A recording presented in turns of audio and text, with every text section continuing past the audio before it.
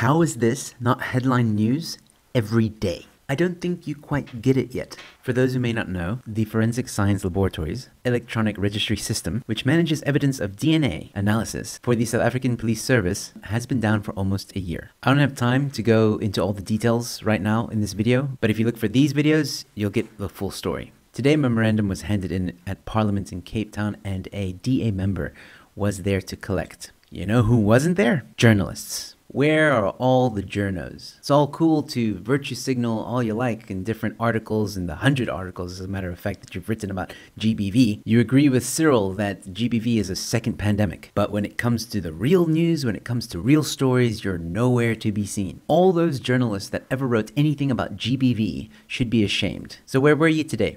Where are you now? No, no, no. Let's talk about Meghan, who gives a damn, and her Harry Prince, and the Oprah interview that for some reason has everyone baffled, right? Like that's really going to change the world. Speaking of Cyril, where is Cyril? Remember that time when there was this huge march to Parliament? Hundreds, if not thousands, of people gathered in front of Parliament. Do you remember what he said? That the killing of women must be brought to an end.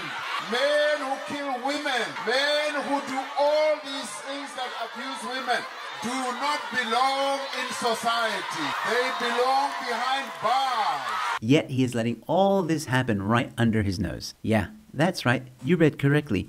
8 million pieces of evidence were lost. And now they're back to the Stone Age where they're trying to track everything and log everything with pen and paper. There are so many stories of people affected by the system being off, families that cannot bury their loved ones because the system is down, sexual assault cases and murder cases that are still pending or in limbo because the process cannot continue. Not to mention, due to all this mess, a criminal lawyer can now, in court, claim contamination of evidence, which means victims will never get justice. Wake up, South Africa. People are dying, and the ANC definitely has blood on their hands. This is all happening under their watch, and they're doing nothing. How many more people need to die? When will South Africans draw a line in the sand? When will you say enough is enough?